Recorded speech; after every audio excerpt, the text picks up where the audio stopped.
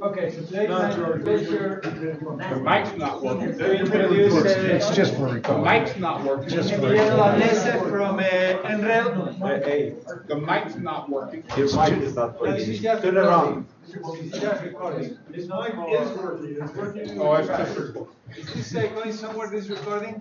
Yeah, Oh, so are you gonna clean it up afterwards? You gotta just speak out. Okay. All right, so today's my pleasure. So give me the mic. introduce- You wanna say something, George? No, no, give me the mic if you, you're not speaking No, up. I'm speaking up. All right, so today is my pleasure to introduce Emiliano Dall'Anese uh, from NREL. Uh, Emiliano is originally from Italy and he got all his degrees uh, there at the University of uh, Padova. Did I get it correct? Uh, the spelling? Okay.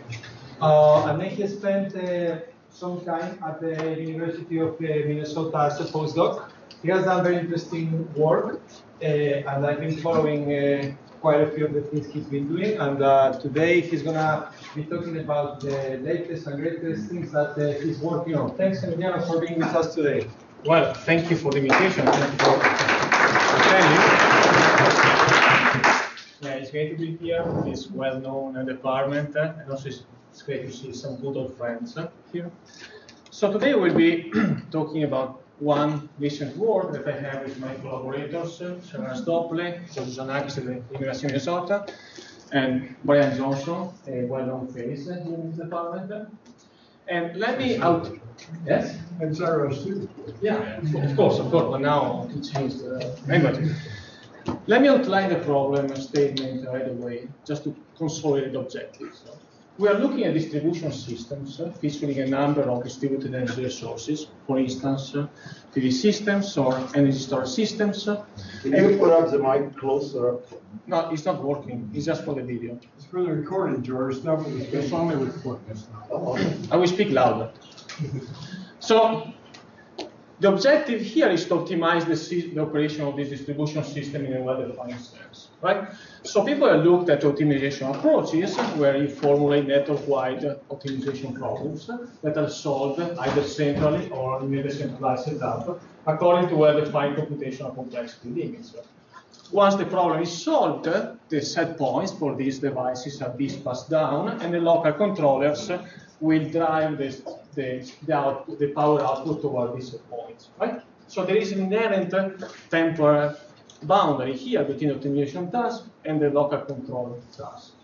Here we would like to chaos uh, by, first of all, strategically distributing the computational burden across areas. And when we develop uh, these uh, local controllers, we wanna, this local optimization task, we wanna encapsulate the dynamics of the local controllers. And this one will become clear later on, but I just, I just wanted to settle down the problem. So Here, as a motivation, we are looking at, today we're looking at the distribution system with high penetration of PV systems. And here you know that for PV systems operating according to current practices, when generation exceeds the demand, there are reverse power flows. And this one may yield to overvoltage conditions in the field. So we envision these tools to bypass these overvoltage conditions and therefore ensure seamless integration of PV system in this case, but in general, renewable sources of energies, without compromising both system reliability and efficiency. Another issue that we're looking at is how to cope with variability of under conditions, in this case, uh, solar radiation conditions. What if uh, solar radiation conditions are changing uh, while I'm still solving an automation problem? It means that I'm dispatching outdated set points, set points that may even yield to over voltages or under voltage conditions, right? So here we have faster dynamics at the distribution scale as opposed to possibly slower optimization tasks. And here, what we would like to do is to ensure adaptability of our control optimization schemes to fast changing conditions. So now that I set a little bit the, the motivations, let me introduce some very quickly some notation. We are considering a distribution system with a given set of uh, nodes uh, here, blue, where we have where we have PV systems, and another set of nodes, calligraphic and sabot, where we have either only loads or just uh, zero injection points. And we can consider a general multi-phase or balanced or unbalanced system. So though today, for notation simplicity, I will assume that the system is balanced.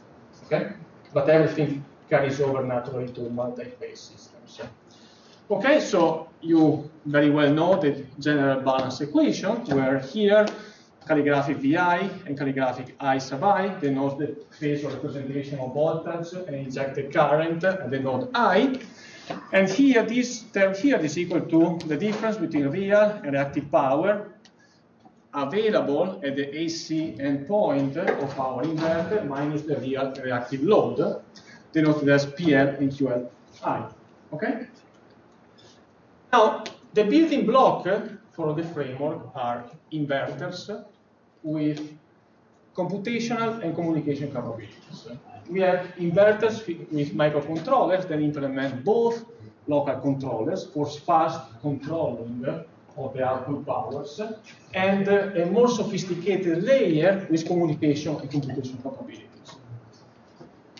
Now, we are going to model the dynamics of the output power, real reactive output powers of the inverters, as a possibly nonlinear dynamical system where x of phi here collects the real reactive power averaged over one AC cycle, whereas this one, this vector here u, collects the real reactive set points of inverters. These set points are sent down to the local controllers by this green layer. Okay? And then we have D that may capture possible exogenous disturbances. Now we have the following assumption. For constant commanded inputs that belong to a given set uh, that specifies the inverter operating regions, uh, and we show some examples in the next slides, uh, we are assuming that this primary controller here is designed so that there exists an equilibrium point for the output powers where the output powers are equal to the commanded inputs. So we have tracking capabilities of, our, of the commanded inputs. Okay?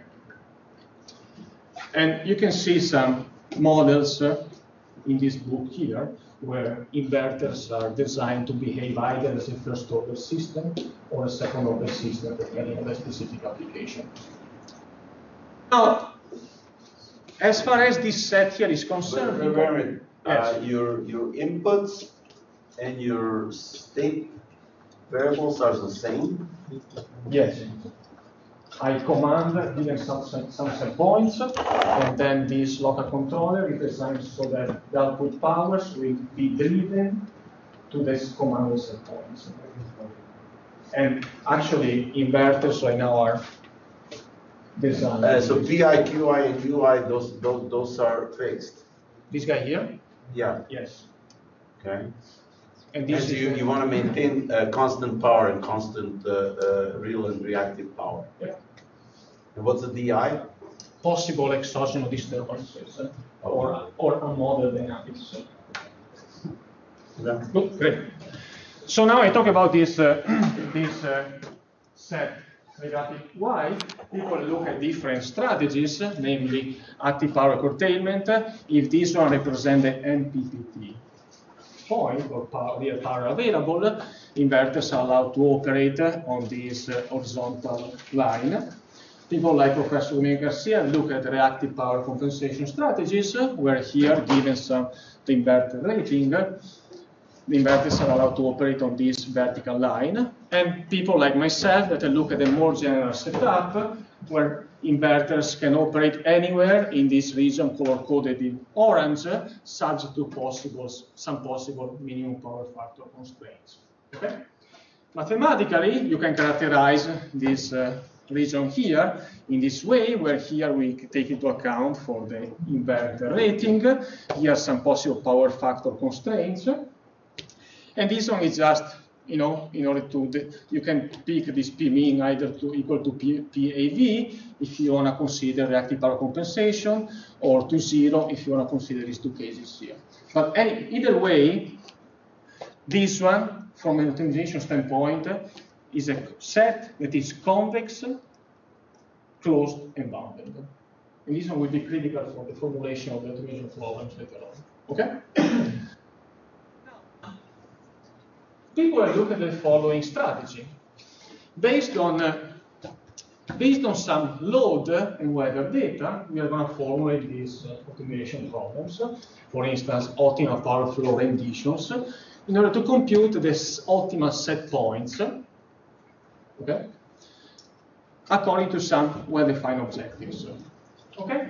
Now, bear in mind that here we need to wait we need to solve this optimization problem, and then we dispatch down the optimal set points. And then based on our assumption in the previous slide, these inverters here will drive the output powers to these set points. Clear so far? So there is an inherent temporal separation between this optimization task and this local controller.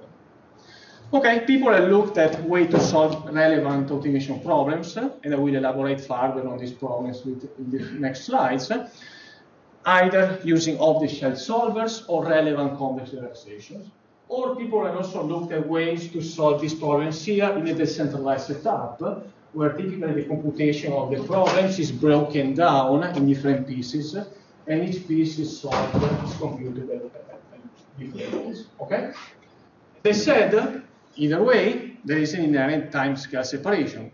Slower timescales, I need to wait to solve the automation problem, and faster time scales. The local controllers that will be driving the output powers towards the set points that I computed. Okay? We are looking at a different we are still looking at ways to solve the problem in a distributed setup. And I will show you in the next slide how to derive the math here. But the novelty here is that we add a feedback direction here where we measure relevant electrical quantities at the point of interconnection with the system, be it powers, be it voltages. And then these measurements are accommodated inside the local optimization task. Okay? And here, you may notice that I don't wait for these iterations to converge to the solution optimization problem. Rather, I send down to the inverters new set points as they become available. The goal, therefore, is how to is to come up with the math here so that eventually the, these set points here and output powers are driven toward the solution of the network-wide automation problem that I formulated. And the benefits that we are envisioning are, as I said before, adaptability to fast-changing conditions and operational efficiency because we are continuously changing, changing OPF solutions. Okay? But the key question here is the following. Here we have a closed loop system with, a, with some discrete time updates and some continuous time creatures. Is this closed loop, closed loop system here stable? How do we account for communication constraints uh, as well as complexity constraints in these green blocks uh, and also hardware limitations? Because eventually these operations here need to be implemented uh, in the microcontrollers and inverters, right? So we will try to answer at least to a couple of these questions uh, in the next slides. Okay? So you all know what is an optimal power flow problem, so we'll be very quick. So here, a prototypical optimal power flow problem, here we want to minimize a given cost function that can capture both network-oriented objectives like minimization of power losses and inverter-related objectives like minimization of the real power that that is obtained okay? Subject to our balance constraints for nodes with and without inverters, right?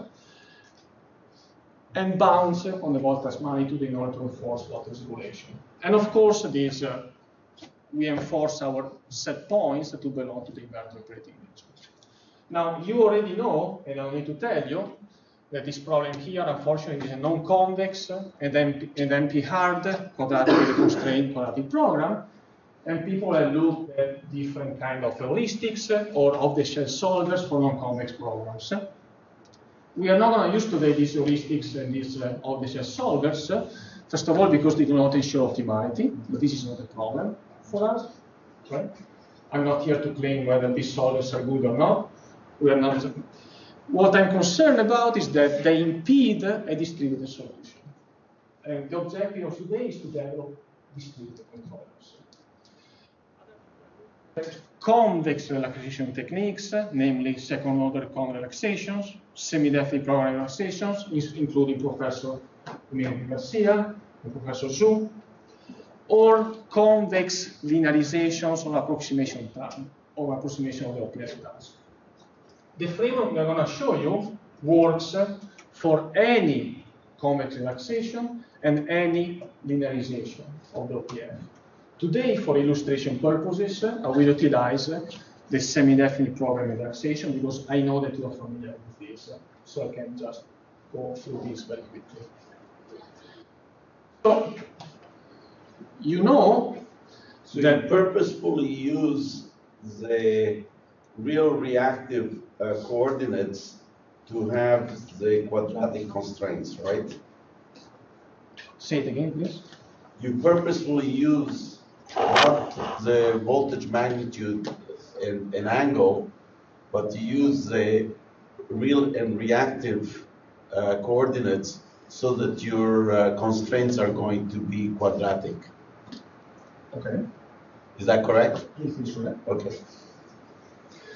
So, okay, so you very well know that if allow me to stack in a vector i all the currents that are injected in a, in a vector i, and I do the same for the voltages, I can relate uh, currents and voltages in this way here, where y is a matrix that is built based on the pi equivalent model of the lines and the system topology, right? Then based on this relation, I will express powers and voltage magnitudes uh, as linear functions of this outer product matrix B here, right? And then if you allow me to introduce some pertinent Hermitian matrices here, I can express the net real reactive power injected at each node as linear functions of this uh, matrix variable B, right? And I can do the same for the voltage magnitudes. Now, I can reformulate the OPF in the following equivalent way, where essentially here, I'm just defining this uh, convex and compact set uh, calligraphic B here, which is the set of positive semi-definite matrices, so that voltage constraint is satisfied, okay? And all the balance constraint is satisfied for the nodes without inverters. Then I'm leaving out uh, the constraints for the inverters on purpose. You will understand why. Where here this vector h here is just is just collecting these two quantities here.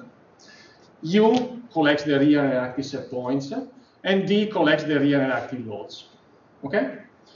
Then the only source of non-convexity here is this non constraint, but as you already know, I can just, uh, in the spirit of the SDP relaxation, I can just drop it. It doesn't end up with a convex relaxation of the problem. Okay? And, if, and this problem here is an SDP. Now you may ask yourself, do we have a rank one? Well, as Professor Domenici showed, for systems that are balanced and radial, there are sufficient conditions under which this relaxation is orbit-tight. It's still an open question for multi-phased and possibly unbalanced systems. Okay? And people are currently looking at that. However, let me just tell you that whatever I present next can be applied to any common relaxation and any linearization of the OPF. It, it is not dependent on this particular SDP relaxation. So I'm going to make three assumptions regarding our underlying uh, OPF. The first assumption is that we have a strictly convex cost. The second assumption is that we have a physical problem and uh, a finite optimal cost. And the third one is a fairly technical assumption that says if you take the gradient uh, of this constraint here, then the resultant vectors are all linearly independent. This one is in the spirit of the so-called uh, uh, linear independence constraint qualification, and then ensures that the dual variables exist, belongs to a bounded set, and in specific case they are unique. At the transmission level is tantamount to saying that the, the locational marginal prices are unique. Okay? Now, okay, is dual gradient type approaches to solve convex optimization problems. So if we consider the Lagrangian of our relaxed OPF, where here lambda here is the vector collecting the Lagrange multipliers associated with the balance constraint, I can perform the following primal dual updates at discrete time instance. I have the classical dual ascent step, right? Where here alpha is the step size. And then based on the up-to-date Lagrangian multipliers, I'm updating u and v, the primal variables, by simply minimizing the Lagrangian with respect to these two quantities, okay? In this specific example, the minimization Lagrangian can be decoupled across primal variables, right? Now, first of all, bear in mind, look at this, and you will realize the difference with the next slide. Here, we actually have the primal variables in the dual, in the dual uh, ascent step, right? Now, there are different convergence claims uh, for these primal dual updates, uh, depending on the step size that you pick. If you pick a sequence of step sizes that is non-summable, but square summable, then you can have asymptotic convergence of both the dual variables, to the optimal ones, of course, and the primal variables. Okay? If your step size is constant, you can have other have different uh, claims, and I encourage you to follow the class of Angelia Nedich to learn more about this. But now, bear in mind these three steps. We are going to use these three steps to build the local controllers. Specifically, consider this case. In the green box, where you remember I present the layer of the microcontroller with computational and communication probabilities, we have these three steps here. But now we pick the updated primal variable that represents the inverter set points, and we use this update to construct a stepwise constant reference signal for our inverter by using a sample and hold unit. Okay? Now, we feed this signal here to the inverter, and then we sample the inverter output. Again, I remind you, I recall that X collects the real and reactive powers, over the C cycle. We sample the output, and then we utilize this uh, sampled output to update these controlling signals. Specifically, I'm utilizing the sampled output here in the dual ascent step instead of the primal variable. Okay? Yes? How fast is the dynamics in the blue bo uh, box compared to the time you are spending to do each update? Excellent question. So Professor Dominguez-Garcia is saying, how do you compare the dynamics here with the dynamics of this block, right? Mm -hmm. So it really depends on the specific uh, convex relaxation or linearization of the electron you are using. I can tell you that this, the update of the heat here, can be done in a subsecond. In fact, for some specific uh, inverter operating regions, like reactive power compensation, active power curtailment, this one is this one boils down to a closed form solution, right? For subsequent just multiplications and additions. This one is the this one is the bottleneck, right? This one is the bottleneck. Because in this particular implementation, this one is still an SDP. Take second, right? Right. And this one will motivate something that I will show you a few slides down the road, where we consider the case where we have asynchronous updates. So, so are you, for example, saying that um, you know the updates on the green box take on the order of a couple of seconds, Even a 2nd And uh, how does that uh, compare with the time constants on the blue box? Because that's that. I mean, the, Yeah. that dynamics is all coming from the switching in the inverters, Yeah, yeah. right? So if that's much faster, I I mean, I see where you're coming with this. That uh, you know, you can assume that uh, you apply the control, and then you know, i- it's gonna have enough time for the dynamics in the blue box to Yeah. come. So okay, that's that's that's what you're explaining. Yeah, this is what I'm going to tell you now. Oh, okay. Because if you have an inherent time scale separation where these guys, you can compute these guys here sufficiently slow so that every time that you sample, the output power coincide with the commanded input, then here you can replace uh, x with u, right? Exactly. So this one is still a dual ascent step, and all the convergence claim that you have in the previous slide naturally carry over to be set up. Done. There is no novelty. However, if you are able to speed up the computation of these steps here, or on the other side of the coin, uh, the dynamics here are sufficiently slow, then uh, if you sample fast enough, uh, you may have the case where x and u don't coincide. And so this one is no longer a dual step. It's something like, I don't know, an inexact uh, update, right? Uh, but I guess you can maybe, you know, if, if you have some bound on what the difference would be, then you could add into the dynamics and, you know, do some convergence analysis with that bound, right? Yeah, I think that I think that somebody gave you my slide before because uh, you are always predicting the next slide. No, that's, uh, I guess, yeah. I'm just kidding, just kidding. Yes.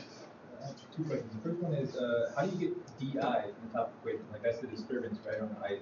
Yeah, that one is just that one is the essentially. Yeah, you're already kind of measuring that essentially, right? Yeah. And then, so the second question is, what is, like, V is not a local variable, that depends on all the voltages and it's supposed to be distributed, Yeah. right? So how do they get? Yeah, yeah. I will, yeah, I will show you later on how to break it down. Also, I think that either you or someone else has done something distributed, distributed SDP also with Alejandro. Okay, but I, I will elaborate on this uh, later in the slide, in the, in the presentation. But good point. And if I don't elaborate on that, please remind me. Okay. Okay. Now there are a few technicalities. I will go through these technicalities very, very fast.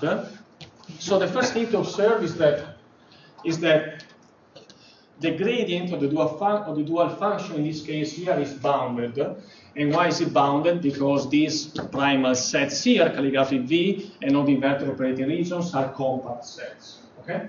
This is something that you will learn in the class of uh, Galileans. The second fact is the following. If I look at the way I'm updating uh, the primal variables u, this one can be seen as a function of lambda, and this function here is Lipschitz continuous with a with say Lipschitz const, with a Lipschitz constant L. So this motivates uh, bounding uh, in some sense, uh, as Professor Dominguez was saying, the error that I'm committing on the dual domain. Okay? So, meaning that if x is different than u, then there exists, due to the continuity of this function here, there exists a lambda tilde so that x would have been the primal update that I would have obtained. Okay? So here we're just enforcing some bounds on the discrepancies on the actual lambda and the one that would have given me x instead of u. And this one translates in a bound between the discrep for the discrepancy of the actual output x and the commanded input u. Okay?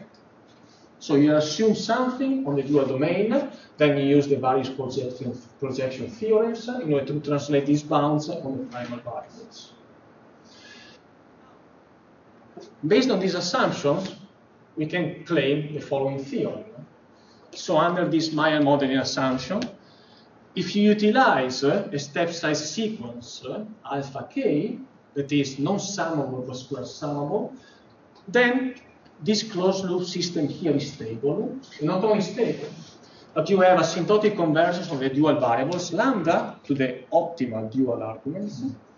You have asymptotic convergence of the reference inputs as well as of this matrix V that is at this stage here is an auxiliary variable.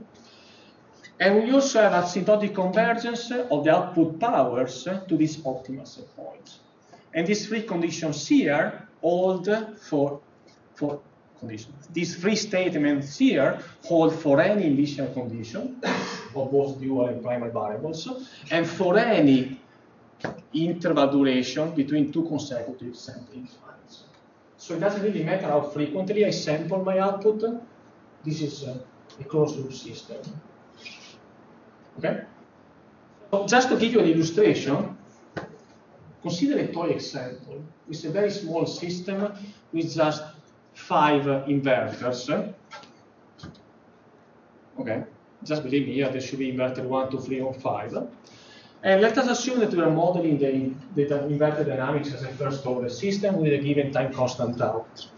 Here I'm plotting the output power pi over time. Did you use the PDF by chance? Uh, no, this is. Okay. PowerPoint. Just believe me, here there should be some numbers, but that's fine. So here you see that there is convergence of these output powers toward a specific point, and in this specific case, the smart you can check is the solution on OPF. But in this case, you see that every time that I update the reference signals, I'm letting my, inver my inverter output to settle to this, to this reference inputs. Because 9 tau is is enough time for the first order system to settle to the, to the commanded inputs, right? In this case, instead here, I'm updating my reference input every 0.9 tau, well below the inverter settlement time, which is approximately 5 tau for a first order system, right? Still, the output powers are converging to, this, to the OPF solution. And they're actually converging significantly faster due to this time scale compression. Okay? If you're interested, I can tell you, I can give you a sketch of the proof. But the key is to notice that whenever x, the sampled power output, is different than u, the commanded set points, then this x represents a suboptimal primal update, and this one leads an epsilon subgradient as, as opposed to the dual gradient. What is an epsilon subgradient? Okay, look at this. Suppose that here we are trying to minimize this function, this primal function here, gi of u. So the update, the optimal value will be this one, right? So this one is the is the primal update that you that you obtain by using these primal dual steps. This one translates in a dual domain to a gradient of the dual function evaluated at the current Lagrange multipliers lambda, right? As you see, and the gradient, the form of the gradient is this one, right? Now, let's, let us, let us suppose that we are moving away from this optimal point here. We are moving to this point here, which is the cost function evaluated at x, the sample output. And this one is at most epsilon suboptimal, right? Then this epsilon suboptimality translates here to an epsilon subgradient. Essentially, you pick your lambda here, you move epsilon away, and then you consider the epsilon subdifferential, which is, the, in this case, the set of lines that pass through this point here and are either tangential to the dual function or stay above the dual function. And this is a, a SAC analytical definition. Okay? Now, based on this observation, Emiliano, I have Yes. a question on the previous one where you went to nine times the time constant. Usually five times the uh, time constant, it dies out. okay, That, that's, that's, that's the usual skill that we use. So why do you have to go all the way to nine? well, Your point, nine. well, I can do even five if you want, but they're, they're exactly the same, right? Yeah, I mean, in other words, I don't, I, I don't understand the nine unless you're looking for, uh, uh, numbers which are perfect squares. First time was zero point nine. No, I just wanted to, I just want to go beyond five. Because that's the rule of thumb we use, Yeah, yeah. five. Yeah. But if you, yeah, if you did five, the result would then change much. But good point. I will add the, I will consider five now in a bit. Oh, I, I, I have a lot of fights to sell, that's why I'm. Okay, okay. So, so Emiliano, I have a question.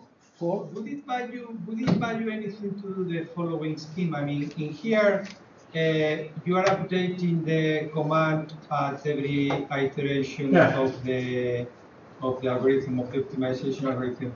Would, for example, value something to, or, you know, update every number, instead of doing it every time, do it every five times, and uh, in the interim, actually just run in open loop in the sense of using a, a standard uh, uh, dual uh, ascent uh, approach without without uh, feeding back the side. Would that buy you anything?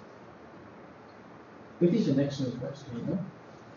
And I think that So, from a theoretical perspective, you can use the very same uh, arguments based on actions of gradient to prove convergence. You Right. see you're Yeah. saying? In terms of implementation, the question is I don't know. And I would love to, to try to MATLAB first to see what's happening. Sure, and uh, convergence speed, would you gain anything, for example, or this is the best you can do? Because there might be some trade-off on how often. Yeah, yeah, I, I see what you're saying. How often you, you want to sample the inverter output, Right. and how, how many times you want to open the primal, you want to compute the primal dual steps in open. Exactly. That is an excellent question. I'm not sure whether you're going to have gains or losses in terms of speed of convergence, because it is always a first order system. Uh, sorry, first order method. Yeah. But this is an excellent question. We can try it. Sure. Great. So, Yes. elaborate on that a little bit? So far, I haven't seen you bring in anything about the structure of the problem, the characteristics of the network. Where do you take that into account in terms of uh, tuning this, this scheme? Can you elaborate on the word? that- Well, I mean, uh, uh, the, the, the fact that you have, say, a radial network rather than a mesh network in a distribution system. Okay. Where is that taken into account in terms of how you uh, tune the algorithms that you using over here? So, Because this could be any other problem, it doesn't have to be the power flow problem in terms of what you're, uh, what you're giving me. So I'm, I'm, I'm trying to see where do you bring in the specifics, the salient characteristics of the, uh, of the, of the power system network, the distribution network. yeah, in two, in two, in two places. First of all, Okay. in the formulation of the problem. And secondly, when it comes to modeling the dynamics of inverters. Other than that, in any other place. In- uh, Is there anywhere where you take into account uh, the fact that you have a radial structure that, that gives you uh, some insights of the behavior? No. Because it should, it should be different than in a transmission network. What should we do? The whole structure of the problem, because we have much less interdependence among the nodes of a certain nature. We don't have the Kirchhoff's voltage laws. I see. So, we can elaborate uh, this. It's a good point. So far, I'm just taking into account this uh, during the, during the formulation. We can certainly elaborate this. That's a good point. Thanks for bringing it up. So, We will put the bill Yes. together of all the points we're bringing up, okay? and then huh? Alejandro and I will uh, put a set of points together and then we'll send our uh, uh, charges. I'm not charging for those, mine are free, okay? Okay. okay, so let me just tell you that here, what we are doing in this lemma here was to characterize uh, the amount of, uh, I mean, to characterize the error epsilon that we have at every at every time decay here. Okay, and once you once you find uh, this analytical bound for this error here, in order to prove convergence of this closed loop system, you can leverage some existing uh, convergence uh, claims uh, in this paper here, where these folks have looked at uh, convergence of, uh, of subgradient type approaches with dual, inexact dual steps under various uh, step size rules. Okay? Now, to answer to the question of Alejandro before, we need to take into account also computational limits. Why? Because I said that the lambda update and the u update can be performed really fast, really fast. This is just addition and multiplications. This one sometimes can afford even a closed form solution. Okay? But what about this? Again, in this specific presentation, this one is an SDP, it takes seconds. Although if we, if instead of considering an SDP relaxation of the OPF problem, we consider a linearized approximation, even this guy here can afford a closed form solution. But still, if you want to take into account this discrepancy, we can consider an asynchronous scheme like this, where I assume that these two steps here can perform at this time step decay, whereas this uh, computationally more heavy step can be performed only m time slots. So I'm starting the computation of this step here now.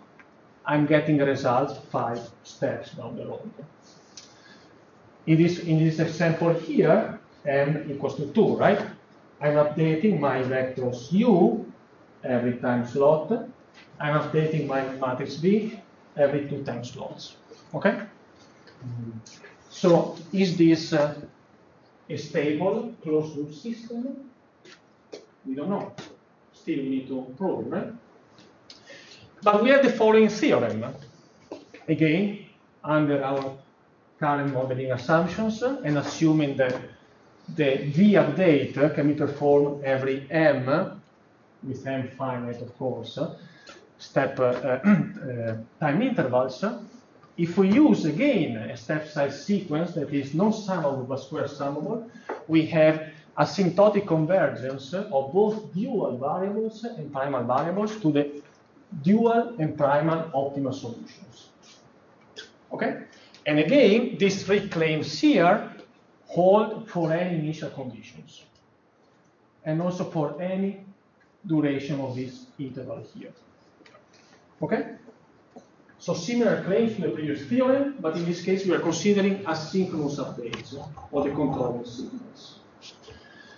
Now, also to answer to your question before, no, your question before, here we have a decentralized implementation like this, right? So we have the lambda update and the u update, so here this is a typo, that is implemented at each inverter, right? And these inverters are exchanging relevant information, in this case, Lagrange multipliers and uh, hi of v, which is essentially two scalars, right? A two by one vector, with the utility. And utility is uh, performing this, uh, this uh, update, right? So the utility is pursuing network-wide optimization objectives, whereas the inverter is pursuing local optimization objectives. Right? But you can do a step even further because you know that Alejandro, and also myself, and also Professor Zhu have looked at ways to solve semi-definite programs in a decentralized setup. So you can also envision a setup where the feeder is broken down in different areas, and you can break down also the computation of this matrix here across areas. Okay? Does it answer your question? Great.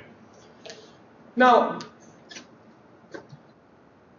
if I have five more minutes, I will just show you a very, a very brief numerical result. Here we are considering the typical IEEE 37 node test feeder with a number of uh, PV systems. And again, the dynamics of the PVs are modeled as a first order system with a constant uh, time constant tau.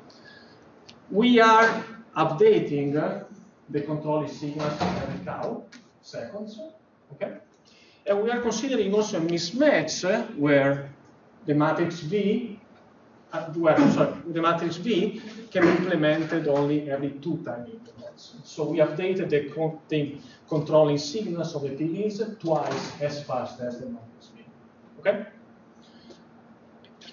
Now, here I'm plotting again Again, this one there is a mismatch between the PowerPoint versions, but anyways, here I'm plotting the output, the real power output and the reactive power output of the inverters over time, normalized with respect to the time constant of the first order system. And here, if you disregard a little bit this uh, first uh, iteration here, where we are starting the system with a very long transient, you can see that at this time instant here, this one and this one, we are artificially simulating a step change in the solar radiation conditions. But still, you see that our inverter outputs are responding fast to this variation in the solar, in the solar radiation conditions. And they are able to drive over its interval the inverter output toward the solution of the underlying optimal power problem. Same applies for the reactive power, where here I emphasize again that we are updating the controlling signal every tau. Okay? Do you have a question? So the for the power balance, are you assuming that the, all of the power that is demanded in the system is served by these PVs, or do you also drop? this one is a, we are considered a grid connected uh, operating mode. Yeah. So we, are, we are making up the substation for everything that is not wired by inverters. So. But we are also working, we are also working for a more sophisticated version that can also handle higher grid mm-hmm. systems. So the extensions in progress, we would like to integrate energy storage systems because as of now, this framework applies only to inverters, as well as legacy components such as capacitor banks and voltage regulators if needed. We would like to extend this framework here to a constant step size setup in order to facilitate the actual implementation of these schemes.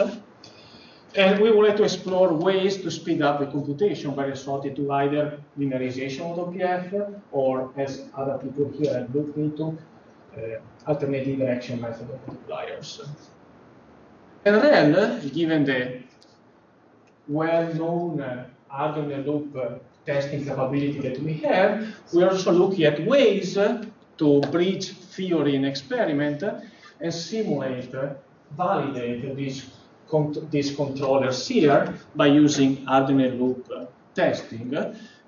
Where here we have an OpalRT, which is a real-time computing platform that is running network models uh, in real time, and this OpalRT here is interfacing through digital to analog controllers uh, and analog to digital converters, I'm sorry, with actual pieces of hardware. Okay? And we are going to utilizing both the so-called power and the loop uh, capabilities to interface actual pieces of hardware with the OpalRT and controller HIL technologies in order to interface controllers implementing PCB boards with the OpalRT. So this one brings me to the end of my talk. So the main objective here was the following, bridging the time scale between uh, network-wide optimization and real-time control. In order to do so, we started looking at ways to speed up the computation of SR points and ways to ensure closed loop stability when, it, when we implement the controllers that we synthesized. We show the convergence of this closed loop system to OPF solution for both the synchronous and the asynchronous setups. And future efforts will be mainly focused on towards you know, validation and implementations of this uh, new class of controllers. And with this, I conclude my talk. And,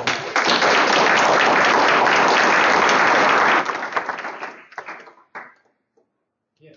Sorry, I missed the beginning. Did you pick up the problem with from the contacts that you use the subgradients? Because they're really slow. I mean, the diminishing step size, I don't know how you do size uh, tuning right now, because we have to restart, I guess, Yeah. every few iterations, right? Yeah, if you use if you use a constant step size, we will speed up the convergence for sure. Although instead of claiming asymptotic convergence to the optimal solution, you can claim asymptotic convergence within a board Yeah, secular yeah. analog solution. But that would be more important with dynamic Yeah. settings, right, than constant step size. Yeah, but the problem is more stopping actually. And why did you need the subgradients? Oh, does it mean the first part of the talk? Yeah, yeah. Yeah, because essentially we are considering uh, the case where we have an inexact uh, dual update. Okay. So instead of, if you have an ex, I mean, I can go back if you want. Like want- time reduce wouldn't be able to handle this. Reduce or time reduce? Yeah. Okay. Look at this step here, right? This step here. So replace x with u, right? Strong, strongly convex primal function leads to differentiable dual function. So this one is a gradient. This one is the gradient of the dual function evaluated at lambda, right? Now consider replacing, consider having x now, where x is a perturbation of u, right? So this is no longer the gradient of the dual function evaluated at this. This one becomes the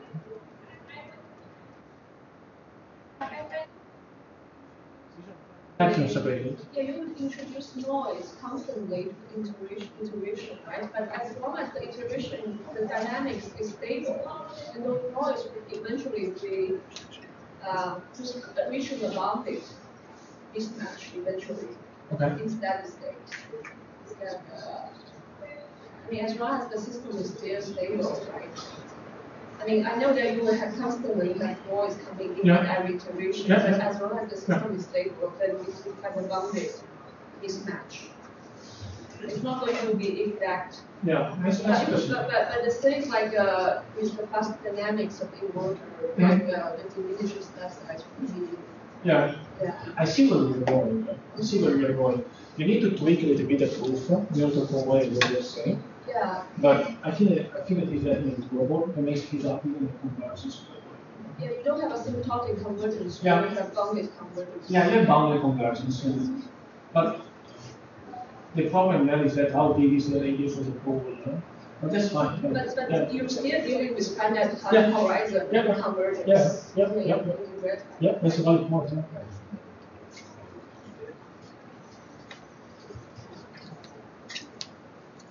Any other question?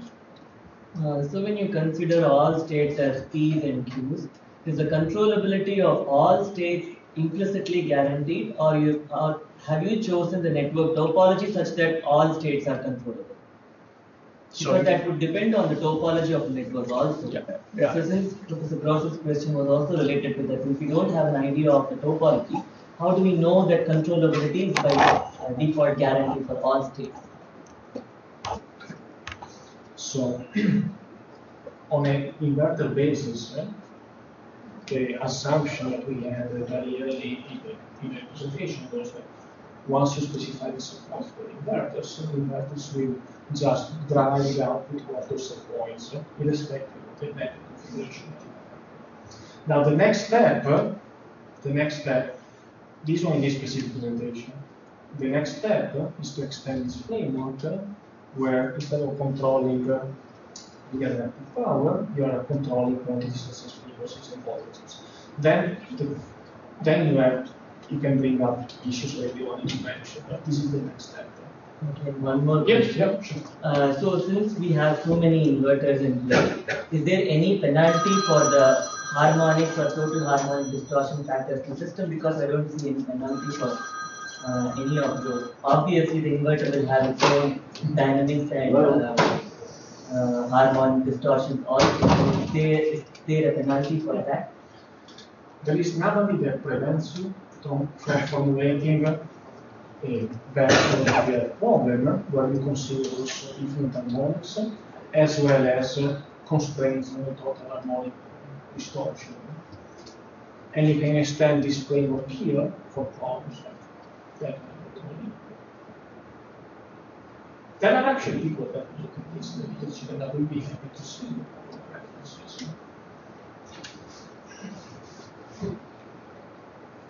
Yes. Standard. Okay. Okay. Thank you then.